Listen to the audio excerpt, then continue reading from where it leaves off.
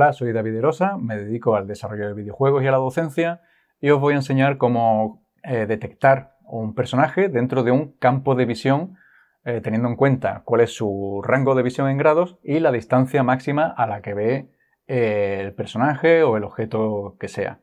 Para ello vamos a utilizar algunas operaciones matemáticas como el producto escalar.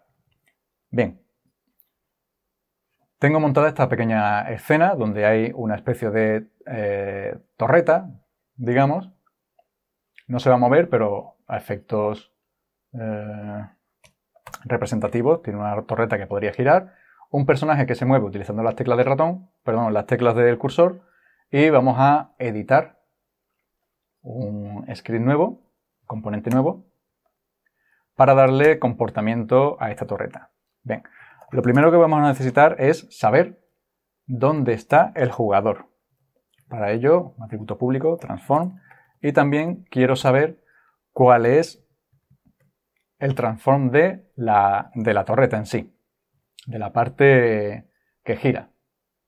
Tenemos en cuenta que esta torreta, este tanque, o como lo queréis ver, eh, la, cabeza gira independientemente de la base. Entonces, todos los cálculos que hagamos tienen que ser en función de este, de este elemento. A continuación, vamos a especificar el ángulo de visión de la rotorreta. Y para ahorrarnos problemas, vamos a restringir este valor entre el 0 y 360 grados. Y por último, vamos a decir que necesitamos una variable vision distance que nos va a especificar hasta dónde puede ver este, este eh, personaje, este elemento del juego. Además, vamos a crear una variable booleana que nos va, donde vamos a guardar, mm, vamos a indicar si el personaje ha sido detectado o no. Bien, antes de proceder a la detección en sí, vamos a, representar de forma visual cuál es el arco de visión de nuestro personaje. Para ello, voy a utilizar el método eh, de Unity y me voy a curar en salud primero diciendo que si el ángulo de visión es menor o igual que cero, pues directamente no hacemos nada.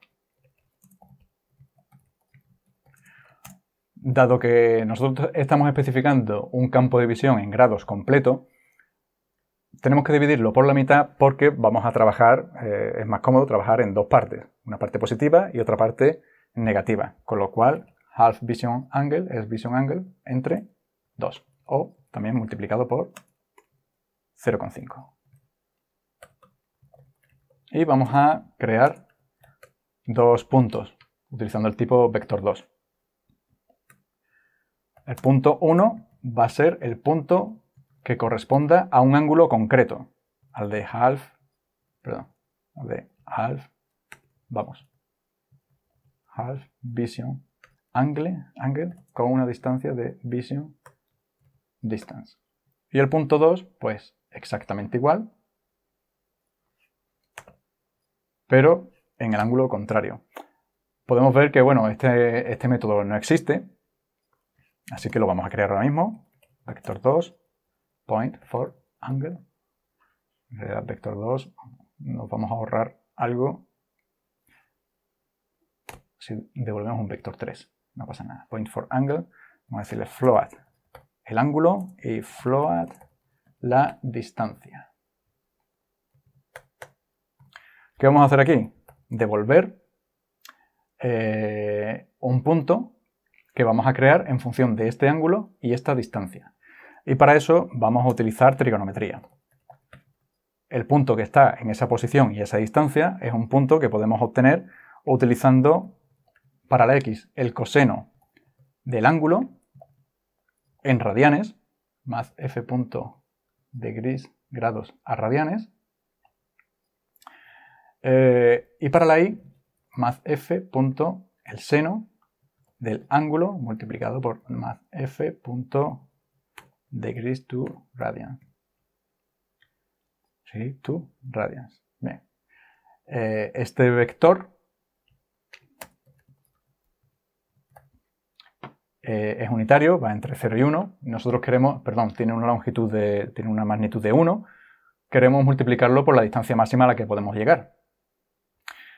Ahora falta una única cosa. Este vector que, estamos eh, obteniendo está en espacio local, es decir, está centrado en las coordenadas 0, 0.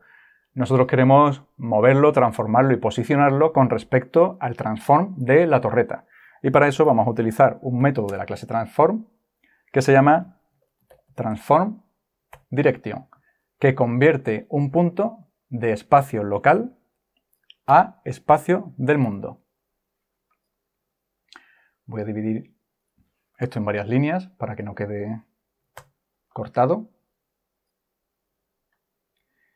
Y en realidad voy a multiplicarlo todo por distance. Creo un nuevo vector que tiene una magnitud de 1 utilizando seno y coseno para, en función del ángulo y de la distancia, colocar el punto correctamente. Lo transformo a espacio de mundo y después lo multiplico por la distancia para darle su, eh, su distancia máxima. la distancia en la que tiene que estar. Ahora bien, mm, vamos a especificar el color rojo para los gizmos y vamos a dibujar draw line desde transform, perdón, desde head position hasta p eh, hasta head.position más p1. Head position, claro, es un vector 3. Hacemos el casting a vector 2.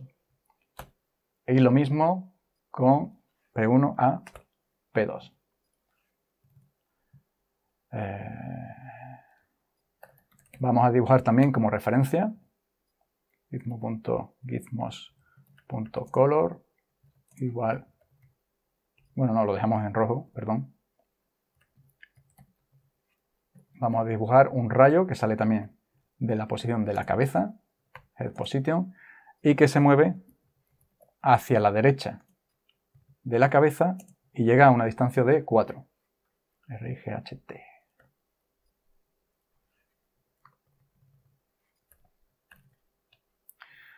Esto lo único que va a hacer es dibujar una línea desde el cañón hacia la derecha para que veamos hacia dónde se está apuntando. Y nos va a servir a continuación en un date para visualizar qué es lo que se está haciendo para el cálculo del eh, punto torreta, no lo hemos asignado todavía, para el cálculo del punto eh, de visión, para el cálculo del ángulo de visión del personaje.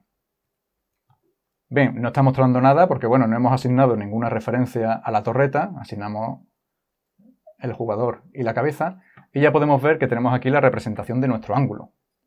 Si variamos este ángulo de visión, pues tenemos esa variación, y si variamos la distancia, también. De la misma forma, si giramos el cañón, la cabeza, el ángulo de visión también cambia.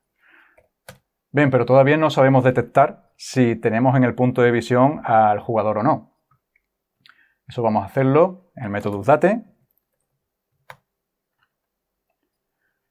donde vamos a decir por defecto que no hemos detectado al jugador.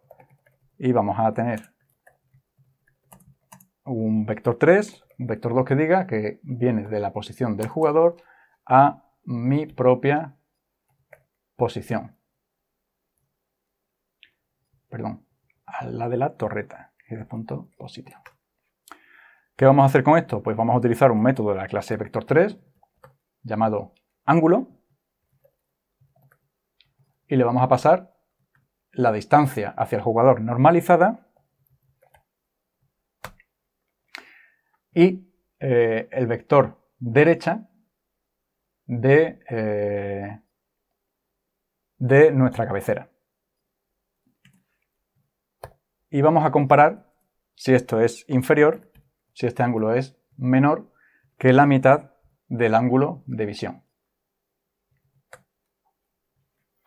Es decir, si el ángulo que forma la línea que, que va desde la torreta hacia el jugador y hacia donde está apuntando la torreta es menor que la mitad del ángulo de visión, significa que está dentro de nuestro cono de visión. Aquí queda comprobada otra cosa, que es que la magnitud de este vector sea menor que la distancia de visionado.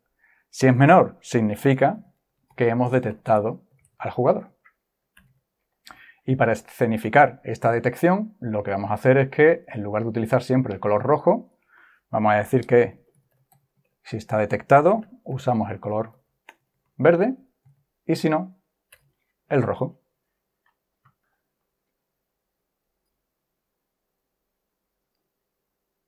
De nuevo, no he asignado la variable torreta. Sí, sí, sí, está asignada. Vamos a darle a play. Y podemos, voy a activar los gizmos en la ventana de, de juego. Podéis ver que en el momento en que el jugador sale del ángulo de visión, el color cambia de rojo a verde y si salgo por distancia ocurre exactamente lo mismo. Y que funciona igual si yo roto la torreta, por ejemplo aquí abajo, y me desplazo hacia aquí variando la distancia, pues igual. Si acortamos el ángulo, la distancia de visión, de visionado, tenemos una forma de detectar mediante un par de cálculos matemáticos si un personaje del juego está dentro del campo de visión del enemigo y en rango con respecto a la distancia. Y aquí, aquí acaba esta pequeña píldora matemática. Si os interesa, si tenéis interés por saber más sobre matemáticas aplicadas a videojuegos, podéis hacerlo siguiendo este enlace.